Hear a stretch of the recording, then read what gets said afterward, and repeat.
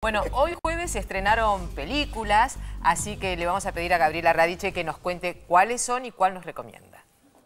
Seis películas llegan en este Día Patrio, en este 9 de julio, seis estrenos y arrancamos con una película que es profunda, Proyecto Mariposa de Sergio Cucho Constantino, una película que retrata en tono documental lo que ocurrió entre David y Lina, que se conocieron, militantes montoneros, estando detenidos a través de cartas que se mandaban de un modo clandestino con un código. Llegó la mariposa, hasta el día de hoy siguen juntos, resistiendo y luchando. Eh, llega también la película de Luis Barros, quien después de mucho tiempo en televisión se dedica a eh, dirigir en cine, En el Zoo. Locos Sueltos en el Zoo es una película donde los animalitos hablan. Hay muchísimos actores vinculados a la comedia, grandes comediantes como Emilio Dizzi, por nombrar uno de los muchísimos que hay allí en la película de Luis Barros. También llega Ocho apellidos vascos. Amor entre un andaluz y una vasca, pero tremenda vasca, por el mismo director de El otro lado de la cama. Llega también la película La Horca, con mucho de terror, mucho de miedo en serio, con ese estilo found footage de grabaciones caseras y muy movedizas. También llega Terminator, Genesis. Lo novedoso de esta entrega, que no tiene James Cameron y que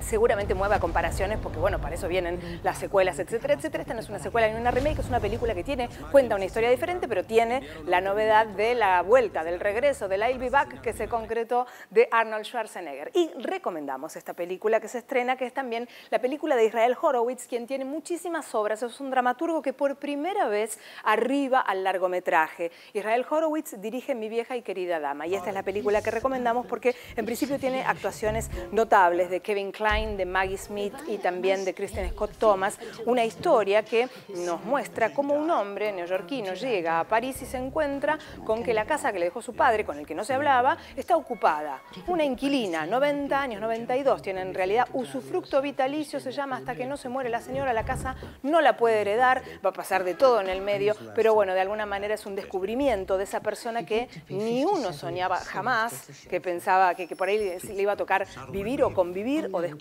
¿no? Y, tiene mucho sobre encontrarse con cómo los adultos hay un momento en el que nos, por ahí nos miramos al espejo y nos damos cuenta que más allá de todo lo que crecimos hay una parte que nunca creció y siempre necesita que vengan los papás a arreglar las cosas. Una película entrañable, se llama Mi vieja y querida dama, con actuaciones notables y para pasar un muy buen momento.